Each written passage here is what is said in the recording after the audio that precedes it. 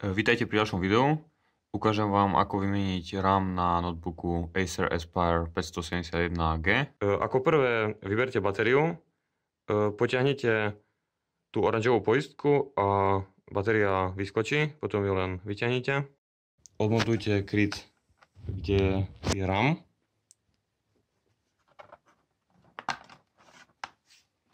So šubovakom. E, tu je slot pre rámky. E, tu vidíme pôvodnú RAM e, značky Nania. A spôsob výberu RAM je, že povytiahnete tieto pačky a máte vybratú RAM. Teda tu je pôvodná RAM a tu je nová, ktorú chcem rozšíriť do notebooku. Takže Takto vyzerá tento spôsob. Dáva sa to tam na šikmotaram, to je dôležité. A následne stlačíte a je to uchytené. E, pridanie ďalších RAM taktiež na šikmo vložíte a stlačíte a RAM je pridaná. E, namontujte kryt naspäť, to je trochu e, zložitejšie.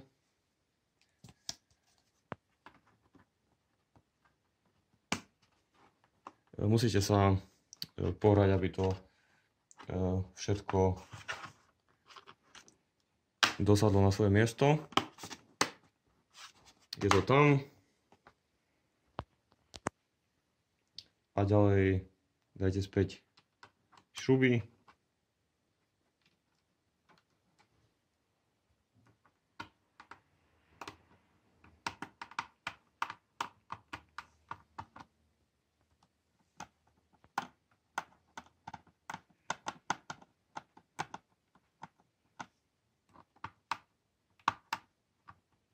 A e, RAM je pridaná. E, ďalej dajte späť batériu. Dobre. E, môžete sa uistiť, či je to poriadne dotiahnuté. Ďakujem za slednutie videa. RAM je vymenená, ideme to vyskúšať. Zdravia z Patríc. Vidím sa pri ďalšom videu. Čaute. Zapnem notebook a dostanem sa do BIOSu F2.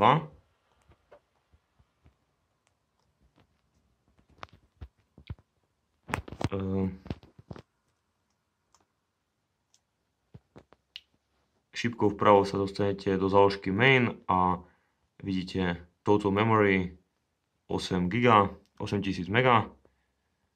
Takže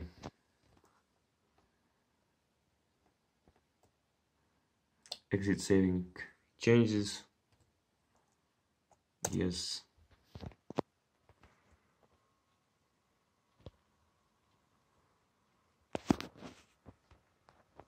E, zapne sa notebook. Teda 8 GB RAM je tam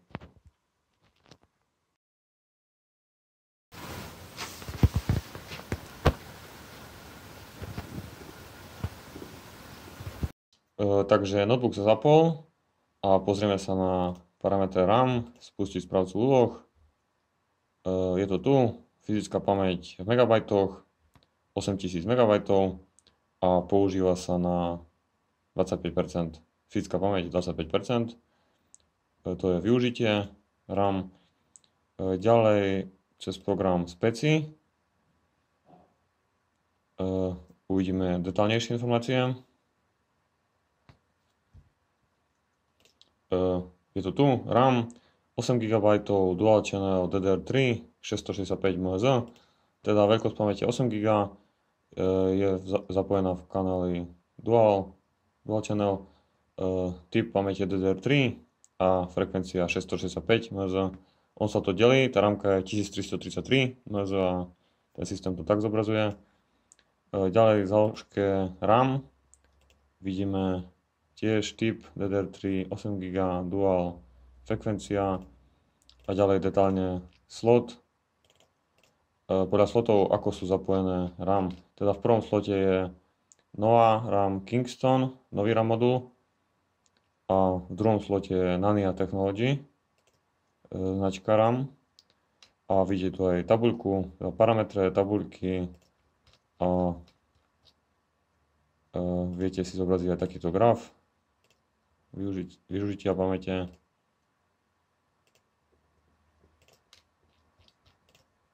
Teda použité dve sloty z dvoch, dva sloty z dvoch, ďalej program CPU-Z,